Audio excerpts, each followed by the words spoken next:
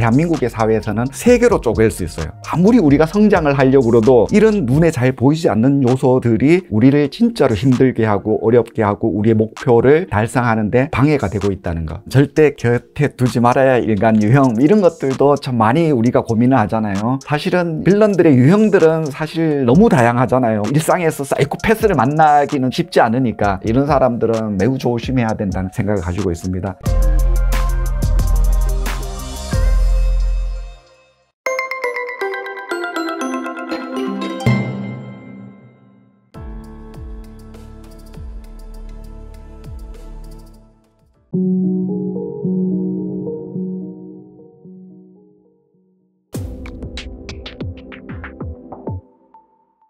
저는 작가 이동조라고 합니다. 창의력과 어, 혁신 전략에 관련된 어, 연구를 진행하면서 이 강의를 여러 가지를 진행을 하고 있습니다. 그래서 어, 한 30년 동안 여러 가지의 그 조직에서 일을 했는데 주로 20대에 처음에 수습 기자로 입사를 해서 30대 초반 중반에 편집국장이 되었어요. 그래서 30대 중반에 사내 벤처 기업을 창업을 해서 기획 편집국장으로 근무를 하게 되었습니다. 그 후에 정부기관과 기업들을 대상으로 다양한 기획과 컨설팅을 진행을 했으며 또 한 30년 조직 생활을 하면서 느꼈던 창의적 사고와 혁신 전략에 대한 여러 가지의 아이디어와 팁들을 나누고 있습니다. 한국은 전 세계적으로 노동 시간이 많은 국가 중 하나이고 근무 시간도 길고 보수적인 직장 문화 때문에 다양한 어려움을 겪고 있는 어, 개인들도 많다고 합니다.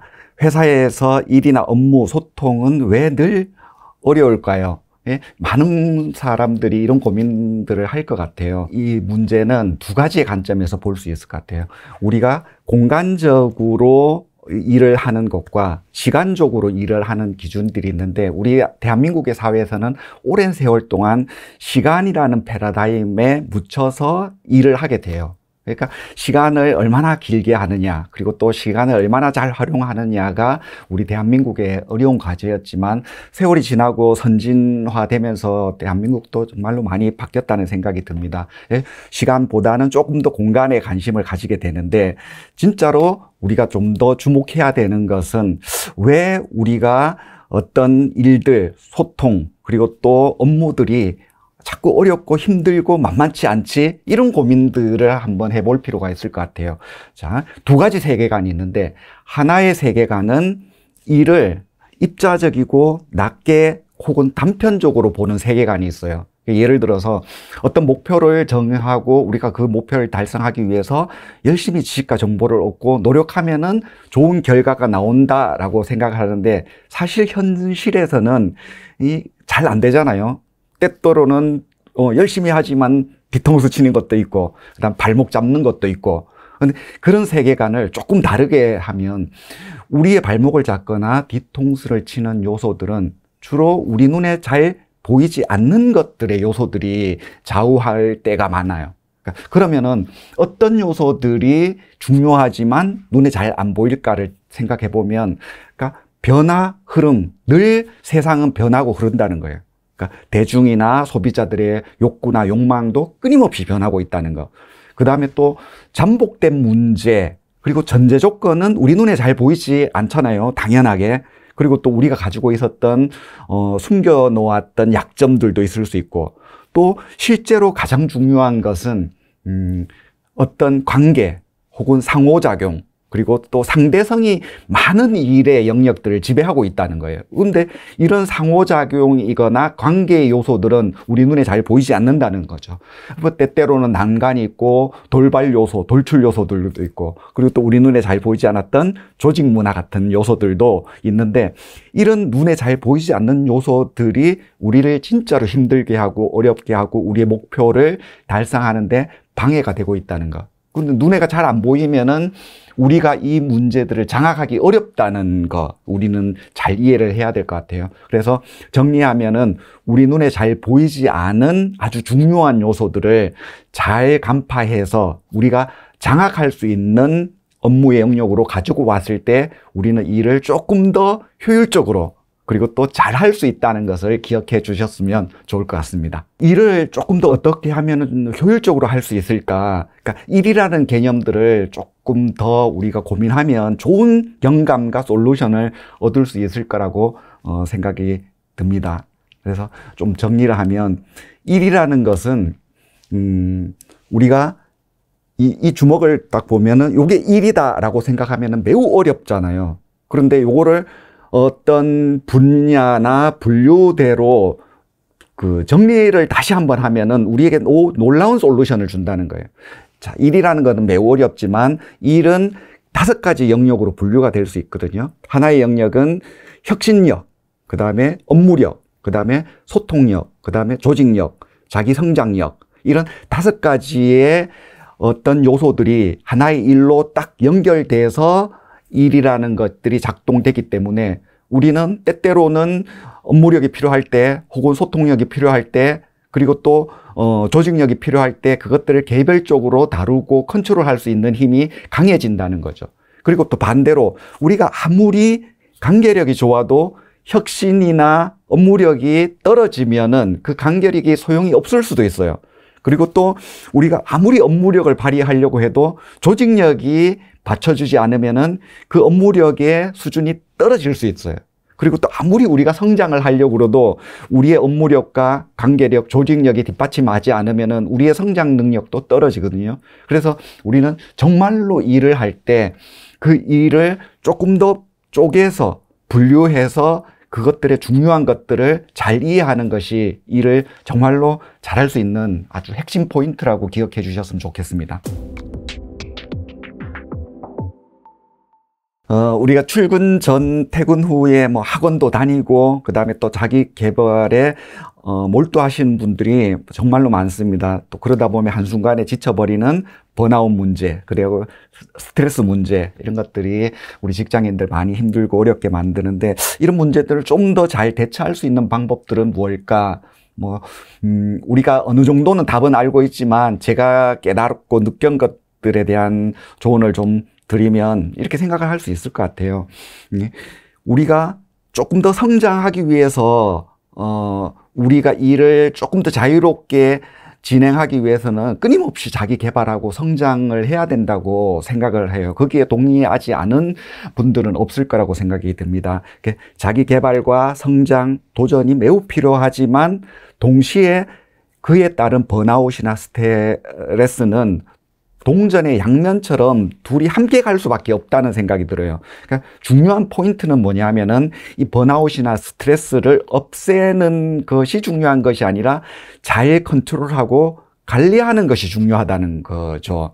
그, 그러면 우리가 이 번아웃이나 스트레스를 어떻게 효과적으로 관리할 수 있을까? 그 좋은 솔루션 없을까? 그런 문제에 대한 답을 좀 드리자면 번아웃이나 스트레스 관리 역시 그것들을 큰 덩어리로 생각하지 말고 조금 몇 개의 분야로 분류해서 쪼개서 대응을 하면 훨씬 더 편해진다는 것을 기억해 주셨으면 좋겠어요. 예를 들어 볼게요. 번아웃을 세 개로 쪼갤 수 있어요. 예를 들어서 육체 번아웃, 그 다음에 마음 번아웃, 그 다음에 정신 번아웃. 그럼 육체 번아웃이 왔다면 육체에 대한 휴식이나 잠을 충분히 하면은 해결이 되잖아요. 그 다음에 마음의 번아웃이 왔다면 어, 새로운 환경에 여행을 간다든지 좋은 친구를 만난다든지 그런 솔루션을 우리는 얻을 수 있을 것 같아요. 그리고 혹시 정신적인 번아웃이 왔다면 우리가 어떤 새로운 비전이나 작은 목표들을 새롭게 설정한다든지 또 작은 성취나 작은 성공을 계획해서 그것을 이뤄냈을 때 우리에게 에너지를 다시 일으켜낼 수 있다는 거죠. 그리고 스트레스 역시 우리가 세 개로 다시 분류를 할 수 있어요. 그러니까 육체 스트레스, 정신 문제, 마음의 스트레스. 그러면은 육체적으로 스트레스가 왔다면은 그 피로 회복으로 극복할 수 있고 그다음에 정신적인 스트레스 문제는 원인이 있는 문제라면 그 원인을 해결하는 데 집중하면 돼요. 근데 원인이 없는 혹은 우울증과 같은 마음의 문제라면 그것들을 긍정적으로 대체를 할 수 있는 대체제를 적, 어, 적극적으로 투입하면 된다. 이렇게 솔루션을 드릴 수 있을 것 같아요. 그래서 정리하면은 큰 덩어리로 보면은 이 번아웃이나 스트레스이 우리가 컨트롤하거나 관리하기가 매우 힘들지만 그것들의 속성들을 쪼개고 분류하면은 그 상황에 맞춰서 대처하고 관리할 수 있다는 것을 기억해 주셨으면 좋겠습니다. 어, 직장 생활을 하다 보면 정말로 잘하고 싶죠. 그런데 마음처럼 잘 안 될 때가 참 많습니다. 사실 인생, 직장 생활뿐만 아니라 인생 모든 것이 실패는 참 뭐 끊임없이 만들어지는데 성공하기는 참 어렵다는 것을 많이 느낄 거예요. 그러니까 그렇게 좀 목표나 꿈을 조금 더 실패해서 성공으로 바꿀 수 있는 방법이나 또 그렇게 할 수 있는 어, 어, 전략은 무엇인지에 대해서 많은 고민들을 털어놓거나 많은 질문들을 드리는데 거기에 대해서 답변을 좀 드리겠습니다. 제가 몇 가지의 어, 혁신가들의 사례들을 좀 소개를 해드리면 예를 들어서 카이사르 같은 분은 로마 대제국을 건설한 분이잖아요. 이렇게 얘기를 했어요. 대부분의 사람들은 자기가 보고 싶은 현실밖에 보지 않는다. 그리고 또 우리 유명한 물리학자 아인슈타인은 현실은 아주 끈질기기는 하지만 그저 하나의 환상에 불과하다. 이렇게 말을 했어요. 그리고 또 피카소 같은 경우의 화가죠. 표면적인 것에 배우에 숨어 있는 놀라운 속성을 찾으라고 얘기를 해요. 그러면 철학자 베이컨 같은 경우에는 확신을 가지고 시작하는 사람은 회의감으로 끝난대요. 그리고 또 대신에 의심하면서 시작하는 사람은 확신을 가지고 일을 끝낼 수 있다는 거예요. 그러니까 이런 혁신가들의 조언이나 통찰을 가만히 들었다 보면 무슨 말을 하냐. 눈에 보이지 않았던 아주 중요한 요소들을 잘 캐치하는 것이 우리가 성공할 수 있는 비밀이 숨겨져 있다는 공통적인 얘기를 하거든요. 그래서 우리가 어떤 일을 할 때 그냥 무작정 하는 것보다는 한 번 더 생각하고 싱크 어게인을 하라는 조언을 드리고 싶은 거예요. 자, 우리가 아주 유명한 키워드 중에 최소량의 법칙이라는 것이 있어요. 최소량의 법칙이라는 것이 뭐냐면은, 어, 우리가 판자를 이렇게 물통을 만들 때 판자가 여러 가지 중에 한 개의 판자만 빠져도 그걸로 물이 다셀거 아니에요? 그러니까 즉 다른 판자 조각이 아무리 빛나고 반짝반짝하고 황금으로 만들어도 한 판자만 비어 있으면 글로 물이 다 셀 수밖에 없는 것처럼 일이라는 것도 사실은 아까 설명했듯이 일 자체가 그냥 일이 아니라 혁신력, 업무력, 소통력, 조직력, 그리고 성장력 이런 여러 가지의 판자 조각으로 결합되어 있다는 것을 우리가 기억을 해야 될 것 같아요. 그러니까 이 중에 한 개만 빠져도 실패가 되고 그리고 또 성공하기 위해서는 이 판자 조각을 전체를 잘 컨트롤하고 조합해야 되는 능력이 매우 중요하다는 것. 요거를 기억하면 우리가 도전하는 여러 가지 혁신적인 작업들, 프로젝트, 소통에 훨씬 더 성공 확률을 높일 수 있을 거라고 저는 확신합니다. 직장에서 제일 어려운 게 뭐 인간관계와 소통이잖아요. 정말로. 그 우리가 동료나 고객과의 인간관계를 조금 더 개선하고 소통을 어떻게 하면 잘할까 뭐 끊임없는 이 조직 생활을 하는 사람들의 과제인 것 같아요. 또 그런 답들도 정말로 많은 솔루션을 제시하지만 또 잘 풀리지 않는 문제인 것 같기도 하고요.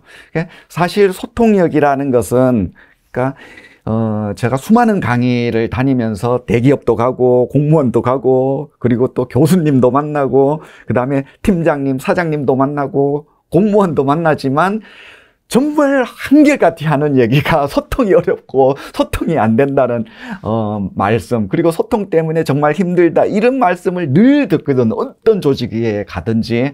그래서 아 소통이라는 게 정말 힘들고 어렵구나. 그리고 어떤 문제를 가장 해결하고 싶냐? 이렇게 물어보면 아 소통을 좀 더 잘할 수 있는 방법이 뭔지 이 문제를 해결하고 싶다라는 말씀을 정말 많이 들었습니다. 그래서 나름대로 소통에 대한 고민들도 정말로 많이 했지만 제가 이제 드릴 수 있는 것은 몇 가지가 있을 것 같아요. 이 소통이라는 것이 원래 쉬울 것 같아요? 아니면 어려울 것 같아요? 원래 어렵다는 거예요. 왜 어려울까요? 그러면 가만히 생각해 보면.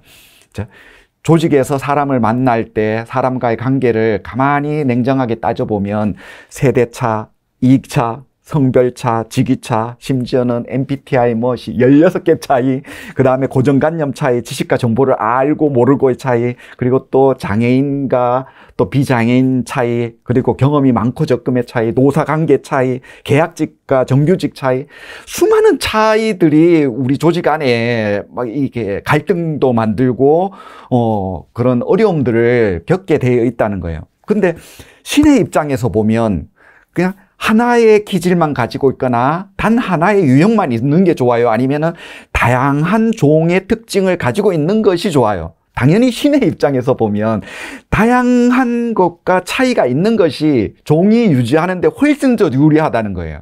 그러니까 즉 소통은 원래 어렵고 다양한 차이를 통해서 우리 인류가 우리 조직이 어, 존재할 가능성이 좋아진다는 측면에서 우리는 바라볼 필요가 있다는 거예요.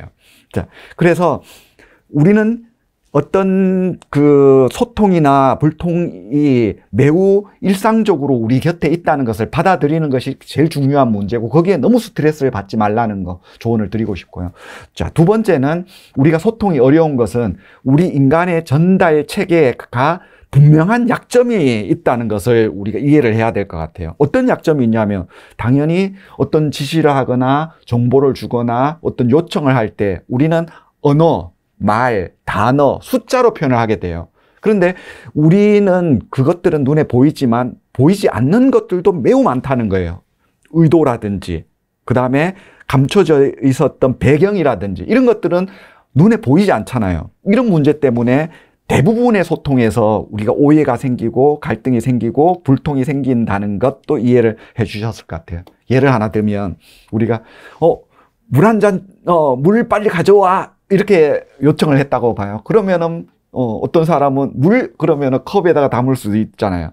그런데 제가 어떤 표정을 했어. 이렇게 다 시들어가는 화분을 가리키면서 물 빨리 가져와 이러면은 컵에다 가져오는 것이 아니라 물조리기에 가져올 거 아니에요. 똑같은 언어를 사용하지만 그 숨어 있는 배경과 의도를 잘 파악하는 것이 소통을 잘할 수 있는 방법이라는 것들 기억해 주셨으면 좋겠습니다. 우리가 또 아주 재밌는 어 이야기가 있잖아요. 예를 들어서 뭐 여기가 가려워 이러면은 음, 대리님은 어 내가 해야 그 요거 빨리 침 발라 가려움이 사라져 이렇게 얘기를 조언하는 사람도 있을 거고 팀장님은 야 내가 발라봤는데 어 역시 물파스를 바르는 게 최고야. 내가 해봤거든. 이렇게 조언을 할 때도 있고. 그런데 그런 경험이나 조언이 때로는 맞지만 정말로 심각하고 중요할 때, 어, 그 속에 왜이 발진이 생기고 가려운지를 정확한 배경과 그리고 상황 그리고 어떤 관계 이런 것들을 정확히 파악해야 솔루션이 나올 수도 있거든요. 예를 들어서 발진이 생겼는데 내가 어제 박람회에 갔어요. 꼭 박람회에 갔어요. 꽃을 만졌는데 내가 꽃 알러지가 있는 거예요. 그럼 알러지와 꽃이 만나서 발진이 생겨서 가려움증이 심해졌다는 것은 침 발라서도 안 되고 그 다음에 물파스를 발라서도 아니고 항히스타민제를 처리해야만이 해결할 수 있다는 거예요. 그러니까 좀 더 보이지 않았던 많은 정보들을 필요할 때 정확하게 우리가 소통을 해야만이 정말로 좋은 소통력을 키울 수 있다는 것을 기억해 주셨으면 좋겠고 조직이나 또 관계에서 우리가 우리의 인간으로서 놓치고자 하는 많은 공간적 그리고 관계 그리고 또 시간의 절차들 그리고 또 상호작용 이런 것들을 최대한 잘 소통할 수 있도록 노력하는 것이 어, 소통력을 키우는 아주 중요한 방법이라고 생각이 듭니다. 조직 생활을 하다 보면 절대 곁에 두지 말아야 일간 유형 이런 것들도 참 많이 우리가 고민을 하잖아요. 사실은 이것을 딱 뭐 구분하기는 쉽지 않을 것 같은데 또 싫은 사람과 또 계속 일을 해야 되는 상황도 또 있을 수 있고 그랬을 때 우리가 어떻게 대처하는 것이 그래도 좀더 어, 우리, 우리 자신을 지키고 행복할 수 있는지 이런 질문들을 좀 많이 하시는 것 같아요. 그런데 솔루션을 좀 드리자면 네, 이런 말씀을 드릴 수 있을 것 같습니다. 일이 더 힘들까요? 아니면 인간관계가 더 힘들까요? 이런 고민들 정말 많이 하시죠. 그래서 저는 후배들한테 어, 월급의 반은 일값이고 또 월급의 반은 인간관계에서 오는 스트레스 값이다 이렇게 많이 말을 해요. 그만큼 우리가 소통이라든지 인간관계에는 상대성이 작동하는 세계란 말이에요. 그래서 정답도 없고 또 진리도 잘 없는 그래서 또 한 번 관계가 어긋나면 회복하기도 힘든 어려운 어, 관계가 유지되니까 참 어, 인간관계를 어려워하는 것 같다고 생각이 듭니다. 그래서 제가 드릴 수 있는 조언은 세 가지 정도로 꼽을 수 있을 것 같아요. 첫 번째는 조직에서 스트레스를 주는 사람은 늘 있다는 거. 어? 한 사람이 사라졌어. 그러면 그 다음에 사람이 나에게 스트레스를 주는 조직 사람으로 다가온다는 거. 예? 그것들을 잘 어, 받아들이고 컨트롤하는 것이 중요하다는 생각이 들어요. 왜 그런 조직에서는 회사에서는 그런 스트레스를 또 끊임없이 받을 수 없, 밖에 없을까 생각을 해보면은 회사나 조직은 동호회가 아니잖아요, 그죠? 상하 관계나 질서가 있고 또 우리의 미션이나 임무를 해야 되기 때문에 그 스트레스 관계들을 어느 정도는 필요하다는 생각을 가지고 어, 있습니다. 자, 두 번째는 어, 그래도 최대한 입사 초기에는 적어도 한 6개월 정도는 실수를 최대한 줄이려고 노력하는 것이 좋을 것 같아요. 처음에 이렇게 찍히면은 오래 간다 그러는 이제 기억을 좀 많이 해주셨으면 좋겠습니다.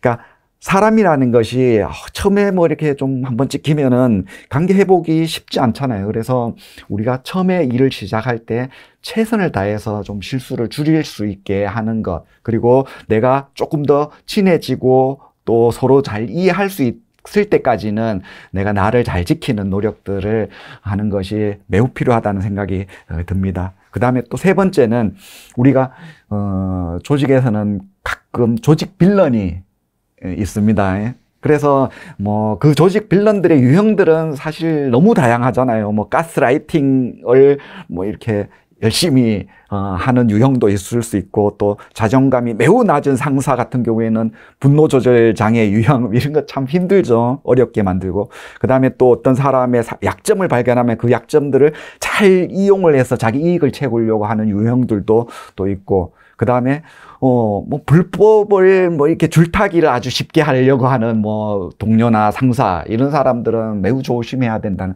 생각을 가지고 있습니다. 그리고 또 가장 소중한 것은 인간의 존엄이 매우 중요하잖아요. 어떤 일보다도 더. 그러니까 인간의 존엄을 무시하거나 어를 잘 이해하지 못하는 사람들의 유형 이런 사람들은 우리가 이 조직 빌런이 될 가능성이 높다. 우리가 뭐 일상에서 사이코패스를 만나기는 참 쉽지 않으니까 그래서 이런 사람들 한테는 조금 더 사무적인 관계로 그리고 어, 일을 처리하는 것이 매우 좋겠다는 생각이 들고 그리고 우리와 잘 맞지 않은 사람을 함께 일을 해야 될 때 어떤 팁을 좀 드리자면 그러니까 앞서서 말했다시피 이 관계력이라는 것 여기에 너무 몰두해서 우리가 회사 생활이 관계력 하나만 있다. 그러면은 참 어렵고 힘들잖아요. 탈출구가 없는 거예요.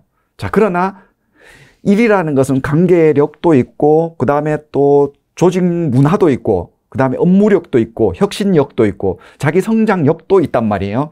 그러면은 우리는 관계역이라는 것들은 아주 쿨하게 사무적으로 아주 기본값으로 세팅해서 그리고 공적인 언어로 아주 주눅 들지 말고 그냥 어, 분명하고 단호하게 우리가 소통을 하되 다른 영역, 혁신 영역이나 업무 영역에서 내가 좀 더 열심히 특출나게 나의 뭐 능력들을 키워 나가는 것 그렇게 우리가 회사 생활을 전략적으로 이렇게 진행을 하면은 우리가 잘 맞지 않는 사람일지라도 어, 좀 더 장기적으로 꾸준히 우리의 일들을 해 나갈 수 있지 않을까 그렇게 생각이 듭니다.